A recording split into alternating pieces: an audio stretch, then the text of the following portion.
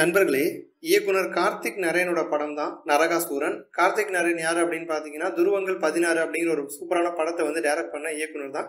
இப்போ வந்து நரகாசூரன் படத்தை வந்து டைரக்ட் பண்ணியிருக்காரு. இந்த படத்தில் பார்த்தீங்க அப்படின்னா அரவிந்த் சாமி நடிச்சிருக்காரு. அவரோட சேர்த்து ஸ்ரேயா இந்திரஜித் சந்தீப் கிசான் ஆத்மிகா இவங்களாம் வந்து முக்கியமான கதாபாத்திரத்தில் இந்த படத்தில் வந்து நடிச்சிருக்காங்க. இந்த படம் பார்த்தீங்க அப்படின்னா ஒரு த்ரில்லர் படமாக தான் வந்து கார்த்திக் நரேன் இந்த படத்தை வந்து எடுத்திருக்காரு. இந்த படத்தை பற்றி முக்கியமான அப்டேட் வந்து வெளியிட்டிருக்காங்க. இந்த படத்தோட ட்ரைலரை பார்த்தீங்க அப்படின்னா ஆகஸ்ட் ஒன்றாம் தேதி வந்து ரிலீஸ் பண்ண போகிறோம் அப்படின்னு வந்து அறிவிச்சிருக்காங்க. த்ரில்லர் படம் அப்படிங்கிறதுனால இந்த படத்தை பற்றின எதிர்பார்ப்பும் ரசிகர்கள் மத்தியில் வந்து பெரிய அளவில் வந்து உருவாயிருக்கு.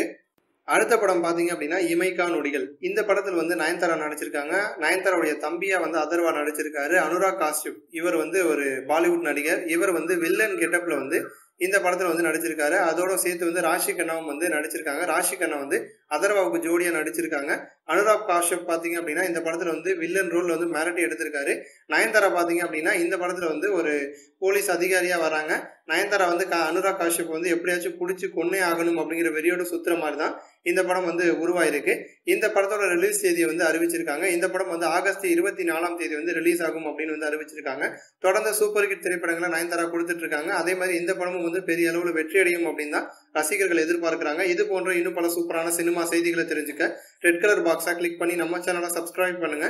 கூடவே பக்கத்தில் இருக்க பெல் சிம்பலை கிளிக் பண்ணி எங்களுடைய அப்டேட் செய்திகளை உடனுக்குடன் தெரிஞ்சுக்கோங்க. நன்றி.